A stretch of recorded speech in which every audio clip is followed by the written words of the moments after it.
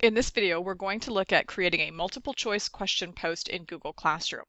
I've already gone ahead and created the post in Google Classroom, but as a reminder, if you want to add a question to the stream in Google Classroom, click the plus sign and choose Create Question. Here is the multiple choice question that I am asking my students. In this case, I'm doing a project check to see how they're coming along on their Genius Hour projects.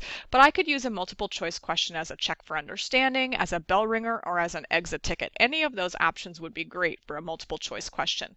Let's see how I set up this question.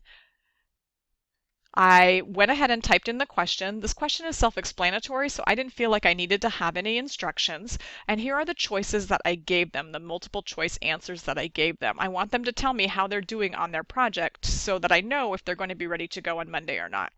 You do have an option um, to allow students to see a class summary after they answer the question. In this particular example, I didn't really feel that was necessary because this is more of a check for me, not the students. Um, but you may want to turn this on if you're doing a multiple choice question for a check for understanding or a bell ringer or an exit ticket. That way the students can see how they how each other answered the question.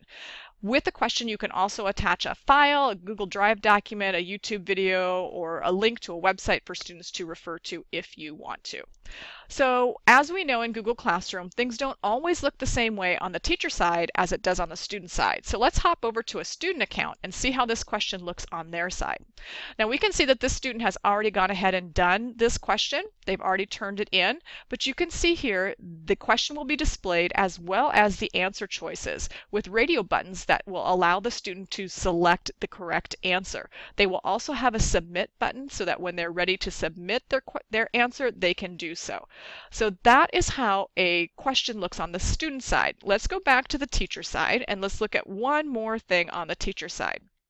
So I can see that I have one student done, one student not done. If I go into this question, I can actually see an overview. This is a class overview of how they are answering this particular question.